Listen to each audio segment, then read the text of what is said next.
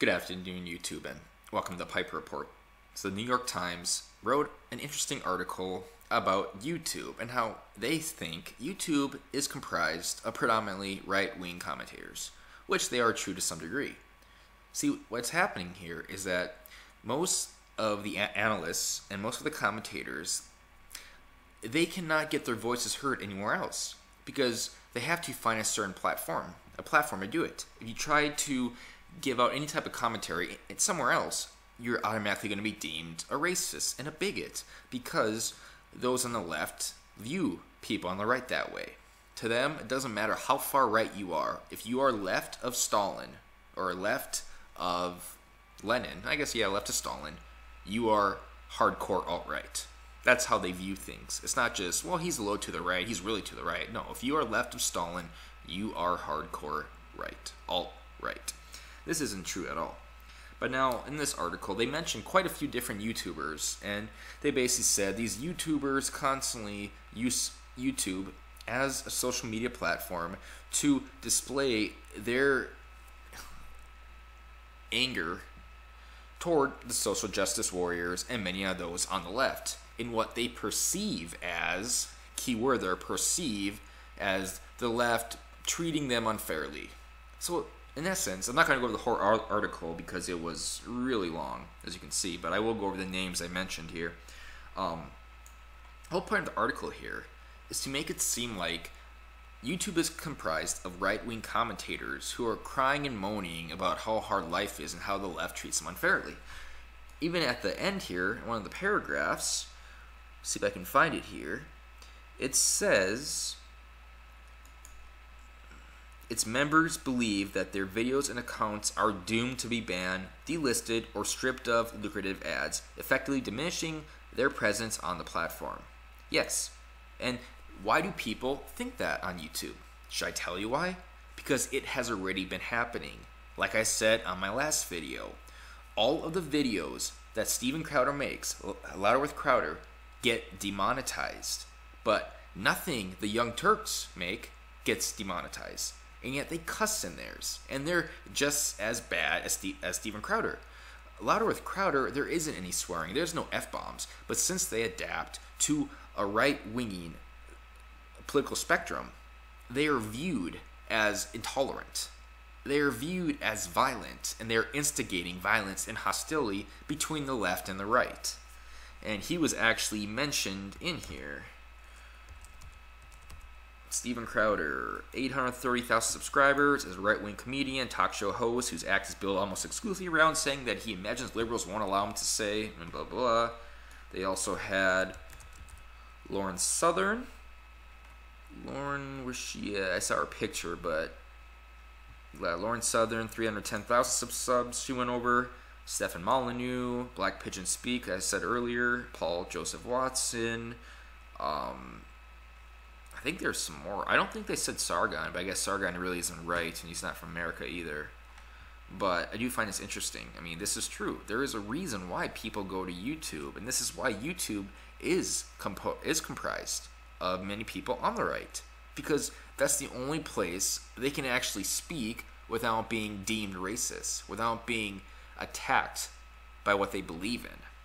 Have you ever noticed on YouTube this happens, but it happens everywhere else? Whenever you want to discuss something with the left, if you ever question somebody on the left, their ideas or their political philosophy, you are automatically attacked. You are attacked because you are a bigot. I mean, just look it up. Look at any YouTube video that has a left wing um, speaker or anything like that.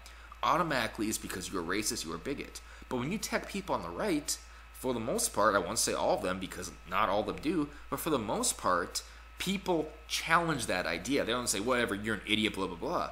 They say, explain to me why he is wrong. Explain to me why he is this. That is just a common thing that happens between the right and the left in terms of political dialogue. If you question somebody's policies on the left, you are automatically deemed racist. This happens in the real world, especially on universities, but this also happens a lot on YouTube. But if, if you go to YouTube videos and watch people question the YouTube commentator, people on the left question those on the right, you will see those on the right, the majority of them, say, explain to me why he is wrong. And That's that's that's the difference between the left and the right. Is that whether you hate the left and you're far right, or whether you're far right, far left and you hate the right, you can actually view this objectively. Just go on any type of right wing commentator and look at their comments, and you will be able to tell. Then go on a left wing commentator and look at their comments, if you can. A lot of left wing commentators actually don't allow comments to happen. Why? Because they're afraid to get their ideas questioned. And that is why Tim Pool said, who is a journalist, that he has trouble bringing people on the left onto his show. Because he noticed that when you debate someone on the right, they're willing to debate and discuss their ideas. Those on the left are afraid.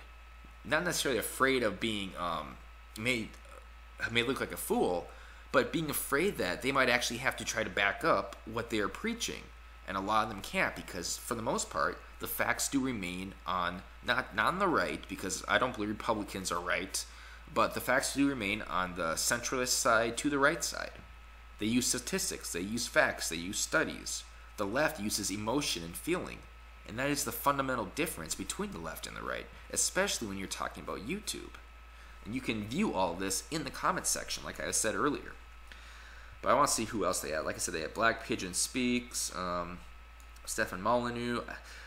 I will post this link in the description. You can check it out and read the whole thing if you want. But this kind of does tie into my last video that if YouTube does continue to demonetize everyone, and oh yeah, but this is kind of back what I why, why I went down to begin with. I kind of went way on digression there, but yes, I mean the ADL is going to be looking over YouTube creators to see if they constitute hate speech. Well, the ADL thinks a picture of a frog is hate speech. They compare that. They think that is synonymous with someone in the KKK. So if you have a frog in your thumbnail, you're probably going to be deemed as someone who advocates for hate speech and violence. So people have a right to be worried. It's not just their fears aren't realistic. They are realistic because the ADL does this type of behavior. The ADL has said stuff like this in the past, what they feel is hate speech, when in reality, it's not even close to hate speech. So people have a right to be worried about getting banned and about being demonetized because it's already happening and it will continue to happen. Now that the New York Times did an article like this, people on the left, corporate media especially, are seeing that they are losing viewership. More people are receiving their news from YouTube and other social media platforms, and not from them. So gonna, so I can see YouTube even working harder to demonetize all of those with right-wing viewpoints, to demonetize all of those and probably ban those who they disagree with. This is happening in Germany already. Rep- journalists are not allowed to report on what is actually happening in uh, Germany. They get banned from Facebook. They get banned from Twitter. I believe I even heard one journalist who was deported because she kept on discussing what is happening from the migrants bringing a crime and how they are causing lots of rape and assaults. I mean, this is serious stuff here. It's not just right wing rhetoric that is based on falsified fear. There is a reason to be angry about this. There is a valid reason to be angry about this. But yeah, Steven Crowder, um, Lauren Southern, Stefan Molyneux, Black and Speak, Joe Paul, uh, Paul, Joseph Watson. I think that's it for the most part. I will put the link in the description, but check it out. And yeah, time to look for the next social media platform. And I'm done.